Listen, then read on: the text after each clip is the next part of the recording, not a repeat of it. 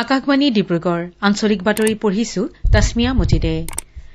কেন্দ্ৰীয় স্বাস্থ্য আৰু পৰিয়াল কল্যাণ মন্ত্ৰালয়ে শেহতীয়াকৈ প্ৰকাশ কৰা তথ্য অনুসৰি যোৱা চৌবিশ ঘণ্টাত নতুনকৈ ন হাজাৰ আঠশ একাৱন্নজন লোক কভিড নাইণ্টিনত আক্ৰান্ত হৈছে। ইয়াকে ধৰি সমগ্ৰ ভাৰতত আক্ৰান্ত লোকৰ সংখ্যা দুই লাখ ছাব্বিছ হাজাৰ সাতশ সত্তৰজনলৈ বৃদ্ধি পাইছে। একেদৰে বিগত চৌবিশ ঘণ্টাত দুশ তেসত্তৰজন লোকৰ এই ভাইৰাছত মৃত্যু ঘটাৰ পৰিপ্ৰেক্ষিতত সমগ্ৰ দেশজুৰি মৃতকৰ সংখ্যা ছহেজাৰ তিনিশ আঠচল্লিছজন হৈছেগৈ।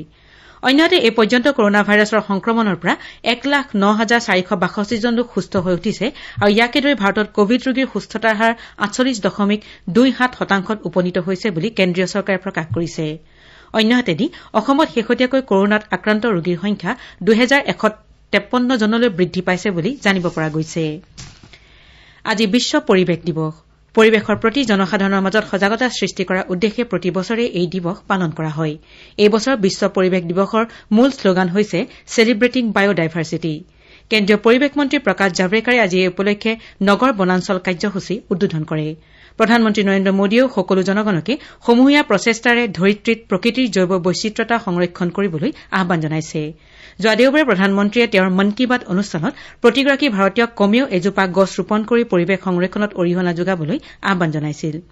এই উপলক্ষে কেন্দ্ৰীয় পৰিৱেশ বনাঞ্চল আৰু জলবায়ু পৰিৱৰ্তন মন্ত্ৰালয়ে আয়োজন কৰা উদযাপন সমাৰোহত ভাষণ দি শ্ৰীজাভড়েকাৰে কয় যে সকলো বাধা নেওচি ভাৰতে পৃথিৱীৰ জৈৱ বৈচিত্ৰতাৰ প্ৰায় আঠ শতাংশ সংৰক্ষণ কৰিবলৈ সক্ষম হৈছে। অন্যহাতে জনগণৰ সক্ৰিয় অংশগ্ৰহণৰ যোগেদি আজি উদ্বোধন কৰা নগৰ বনাঞ্চল কাৰ্যসূচীৰ প্ৰসাৰ সাধনৰ ওপৰতো শ্ৰীজাভড়েকাৰে গুৰুত্ব আৰোপ কৰে। এই কাৰ্যসূচীৰ প্ৰাৰম্ভিক পৰ্যায়ত ভাৰতৰ দুশটা নিগম আৰু চহৰত বনাঞ্চলসমূহ বিকাশ সাধন কৰা হ'ব। ভাৰতৰ অন্যান্য প্ৰান্তৰ লগতে অসমৰ বিভিন্ন অঞ্চলত এই দিৱস উপলক্ষে ভিন ভিন কাৰ্যসূচী গ্ৰহণ কৰা হৈছে। ৰাজ্যপাল অধ্যাপক জগদীশ মুখীয়ে আজি এদিনীয়া ভ্ৰমণসূচীৰে চিৰাং জিলালৈ ৰাওনা হৈছে। এই উপলক্ষে মুখ্যমন্ত্ৰী সৰ্বানন্দ সোণোৱালেও ৰাইজলৈ আন্তৰিক শুভেচ্ছা জনাইছে। ইফালে ৰাজ্যৰ মুখ্য সচিব কুমাৰ সঞ্জয় কৃষ্ণই ৰাজ্যখনৰ সকলো নাগৰিককে গছপুলি ৰোপণ কাৰ্যসূচীত অংশ ল'বলৈ আহান জনায়। অন্যহাতেদি চুবুৰীয়া ৰাজ্য অৰুণাচল প্ৰদেশৰ চাংলাং জিলাতো আছাম ৰাইফলছৰ চাংলাং বেটেলিয়নৰ উদ্যোগত বিশ্ব পৰিৱেশ দিৱস পালন কৰা হয়। এই উপলক্ষে আয়োজন কৰা বৃক্ষ ৰোপণৰ অভিযানত আছাম ৰাইফলছৰ জোৱানসকলৰ লগতে কেন্দ্ৰীয় তথা ৰাজ্য চৰকাৰৰ বিষয়ববীয়া জনজাতীয় সংগঠন সমাজসেৱী সংস্থা আৰু স্থানীয় গাঁওবাসীয়ে অংশগ্ৰহণ কৰে। এই পদক্ষেপৰ জৰিয়তে চাংলাং চহৰ আৰু ইয়াৰ দাঁতিকাষৰীয়া গাঁওসমূহত পঁচিছশতকৈও অধিক গছপুলি ৰোপণ কৰা হয়।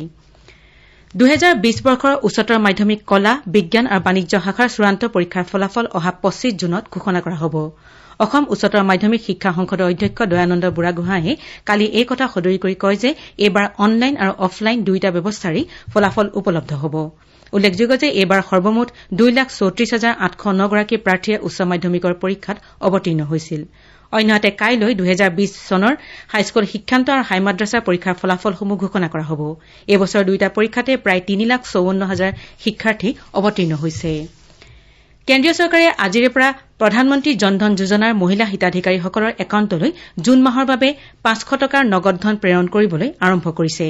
প্ৰধানমন্ত্ৰী গৰীব কল্যাণ সাহায্যৰ অধীনত এই তৃতীয়টো কিস্তি প্ৰদান কৰা হৈছে।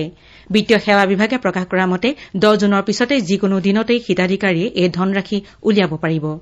উল্লেখযোগ্য যে প্ৰথম কিস্তি হিচাপত বিশ দশমিক পাঁচ কোটি মহিলাৰ জনধন একাউণ্টলৈ দহ হাজাৰ ঊনত্ৰিশ কোটি টকা আৰু দ্বিতীয়টো কিস্তিত দহ হাজাৰ তিনিশ পোন্ধৰ কোটি টকা মোকলাই দিয়া হৈছিল।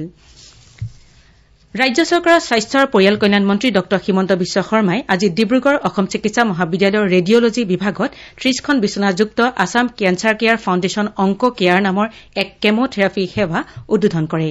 ৰাজ্য চৰকাৰ আৰু টাটা ট্ৰাষ্টৰ যৌথ উদ্যোগত আৰম্ভ কৰা এই ফাউণ্ডেশ্যনৰ অধীনত অহা ছেপ্টেম্বৰ মাহৰ পৰা ইয়াত ৰেডিঅ' থেৰাপী সেৱাও উপলব্ধ হ'ব বুলি ড শৰ্মাই জানিবলৈ দিয়ে। মন্ত্ৰী ড শৰ্মাই আজি অসম চিকিৎসা মহাবিদ্যালয়ৰ চৌহদত সুস্থ অসম নামৰ এক কিয়স্কৰো উদ্বোধন কৰে। এই কিয়স্কৰ জৰিয়তে সুস্বাস্থ্য বজাই ৰখাৰ বাবে জানিবলগীয়া স্বাস্থ্যবিধি সম্পৰ্কে ৰাইজক অৱগত কৰাৰ লগতে তাত বিনামূলীয়া উচ্চ ৰক্তচাপ পৰীক্ষা মধুমেহ স্তনৰ পৰীক্ষা সাধাৰণ স্বাস্থ্য পৰীক্ষা আদিৰ সুবিধা উপলব্ধ হ'ব।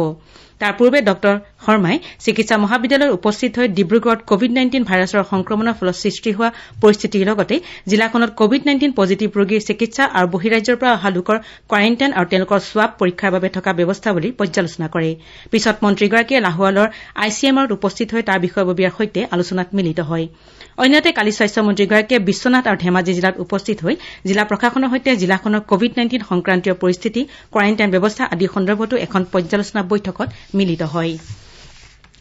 ভাৰতে গাভি নামৰ আন্তৰ্জাতিক প্ৰতিষেধক সহযোগিতালৈ পোন্ধৰ নিযুত মাৰ্কিন ডলাৰৰ সাহায্য ঘোষণা কৰিছে। প্ৰধানমন্ত্ৰী নৰেন্দ্ৰ মোদীয়ে কালি অনলাইনযোগে বিশ্ব প্ৰতিষেধক শীৰ্ষ সন্মিলনত ভাষণ দি এই কথা প্ৰকাশ কৰে। ইংলেণ্ডৰ প্ৰধানমন্ত্ৰী বৰিছ জনছনে আহান কৰা এই শীৰ্ষ সন্মিলনত পঞ্চাছখনতকৈ অধিক দেশৰ ৰাষ্ট্ৰৰ মুৰববী বাণিজ্যিক অনুষ্ঠান ৰাষ্ট্ৰসংঘৰ প্ৰতিষ্ঠান আৰু বেচৰকাৰী সংস্থাই অংশগ্ৰহণ কৰে।